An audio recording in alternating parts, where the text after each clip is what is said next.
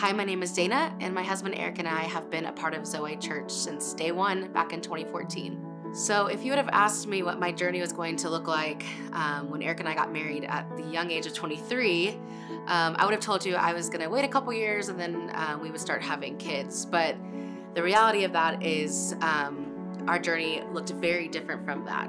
God started kind of just bringing new things into our heart. Um, new things we had never thought of before, new ways that our family might grow, um, very different from what we had imagined it would look like. Um, he started really opening our eyes to some needs um, that we saw in the city, and through different researching and, and kind of just looking into it more, um, we really started looking into fostering. So as we started looking into that, our hearts just started breaking, um, and we just felt like the Lord was saying, I am opening your eyes to this because this is your journey. As we got into it, we got our first placement, um, a baby girl straight from the hospital in 2017.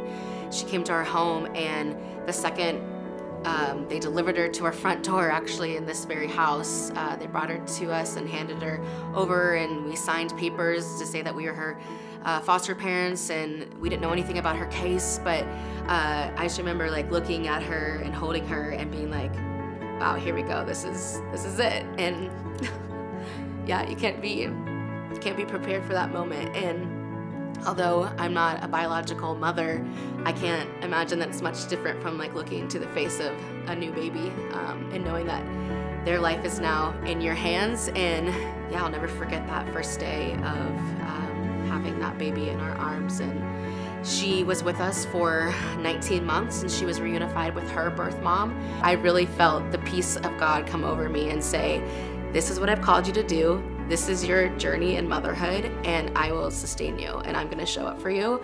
And what I have for you is beyond what you can even plan for yourself. And I felt that peace, and I felt that wind in my back to keep going. And I know He's called me to do this, and I know He's called me to be a foster mother. She's now um, three and a half, and we have the most beautiful extended family relationship with her birth family. Um, we get to see her frequently, we get to be a part of their lives. Um, it's just honestly such a story of redemption. And we have our second foster daughter now, um, and we're on the path to adoption. So we are so excited about where that is headed and just trusting God for that journey and for her journey, and um, just so excited for what's ahead.